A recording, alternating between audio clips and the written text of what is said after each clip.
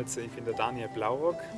Ähm, ich bejage hier in, äh, in Treuchtlingen im Altmühltal ähm, ein Gamsrevier. Das Revier und der Gamswildbestand der liegt äh, in Mittelfranken, grob zwischen Nürnberg und Augsburg. Wir haben hier ein, äh, hauptsächlich ein Waldrevier mit ca. 500 Hektar, davon sind 350 Hektar Waldfläche dem äh, die Wildarten Gamswild, Schwarzwild und Rehwild, äh, die drei Wildarten kommen vor. Zur Herkunft von dem Gamswild gibt es gegensätzliche Meinungen. Äh, es wird, wird, erzählt, dass hier schon immer wieder Gamswild vorkommen ist. Einzelne Abwanderungen sind hier gesehen worden. Ähm, auf jeden Fall wurde hier Gamswild ausgesetzt und dann hat sich ein Bestand aufbauen können und halten können. Und dann wurde zwischenzeitlich nochmal Gamswild dazugesetzt, um genetische Verarmung vorzubeugen.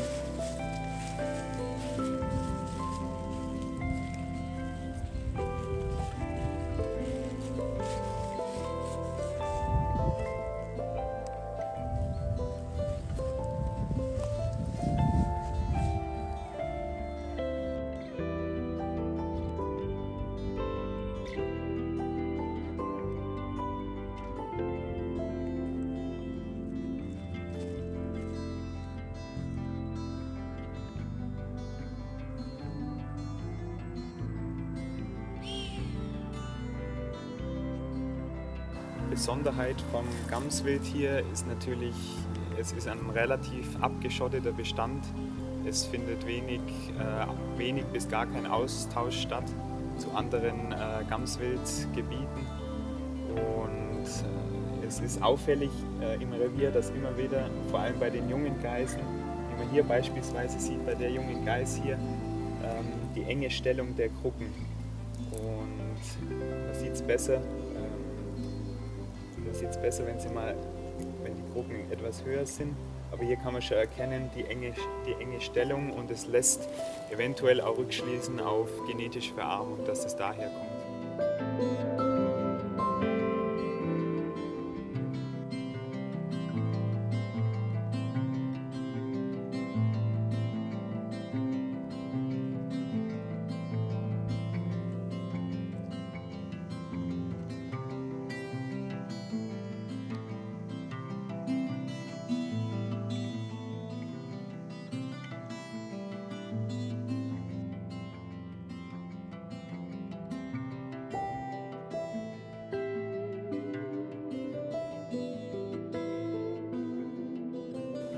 Eigentlichen Lebensraum hier. Wir haben hier steile Altholzhänge zu 90% Buche, kaum Nadelholzanteil. In, dem, in, den Hängen hält sich das Gamswild sehr gern auf. Das sind sehr ruhige Hänge. Und was hier auch eine Besonderheit ist, äh, sind die Steinbrüche, die teilweise stillgelegten, offengelassenen Steinbrüche. Da hält sich das Gamswild natürlich sehr gern auf. Was da sehr auffällig ist beispielsweise, dass die Geißen im Frühjahr nach dem Setzen von den Kitzen sich hauptsächlich in den Steinbrüchen aufhalten. Es ist ein weiter Überblick, eine weite Sicht da und äh, das stärkt einfach das Sicherheitsbedürfnis von den Geißen mit den frisch gesetzten Kitzen.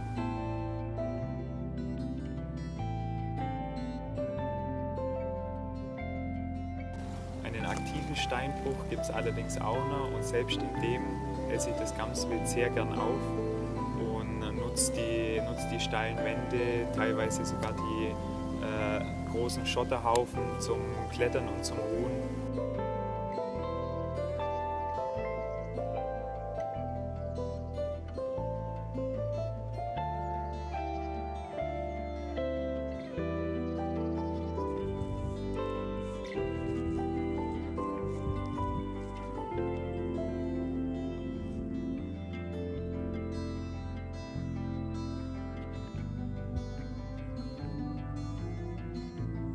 Gamswild hält sich überwiegend im Wald auf, nur äh, in den Sommermonaten, also beispielsweise in der Milchreife vom Weizen, zieht es auch ins Feld runter.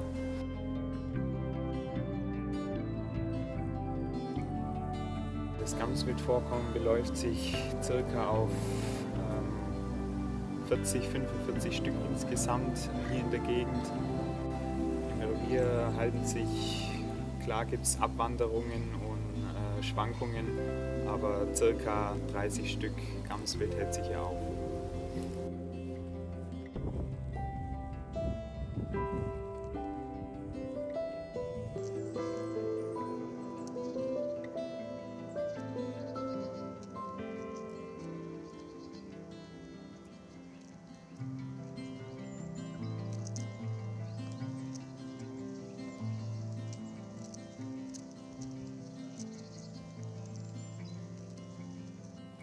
Eine weitere Besonderheit hier im Revier ist, dass das Gamswild sich hier natürlich zwangsweise mit sehr viel Besucherverkehr, Mountainbiker, Wanderer, Jogger äh, auseinandersetzen muss. Und deswegen ist das Gamswild sehr vertraut. Ähm, man kommt sehr nah an das Gamswild ran. Und äh, das hat natürlich damit zu tun, dass sie sich auf die verschiedenen Störungen eingestellt haben und hier auch wenig Ausweichmöglichkeiten haben in ruhige Gebiete, weil überall, äh, überall Besucherverkehr ist. Und das ist eben die Besonderheit. Und das äh, spielt natürlich auch einen Faktor in der Bejagung von dem Gamswild. Die Sichtbarkeit von dem Gamswild hier, die kommt uns natürlich zugute, weil so ein genaues und genaues Ansprechen möglich ist können das Gamswild gut bestätigen und dadurch auch selektiv entnehmen.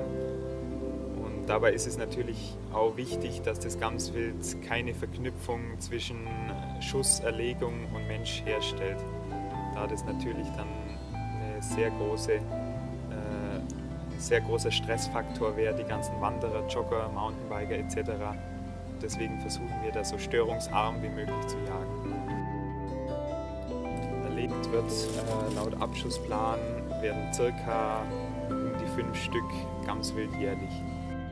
Bei der Bejagung von Gamswild achten wir darauf, dass wir fast ausschließlich in die Kitze bzw. Jugendklasse eingreifen und die Mittelklasse fast komplett zum Schonen.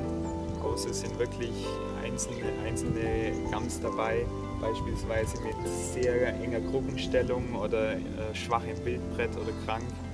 Aber ansonsten versuchen wir die Mittelklasse größtenteils zum Schonen und den Abschuss eigentlich hauptsächlich in der Jugendklasse zu tätigen.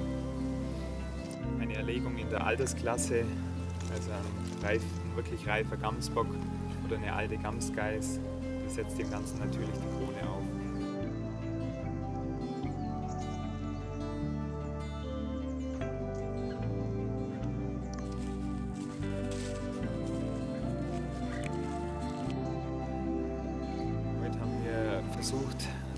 eine passende Gams zum Erlegen und sind in der Früh gestartet und haben mehrmals äh, Gamswild in Anblick, in Anblick gehabt, waren aber immer nicht passende Stücke bzw. zu schonende Stücke. Äh, beispielsweise ein sehr starker Jährling ganz am Anfang, eine Geiß mit einem sehr starken Kitz und haben hier in der Nähe sogar einen, einen, einen einen Rudel gesehen mit einem Bock, der was am brunften war. Und letztendlich hat es jetzt hier zum Schluss noch geklappt auf eine Jährlingsgeiß, hier auf eine passende.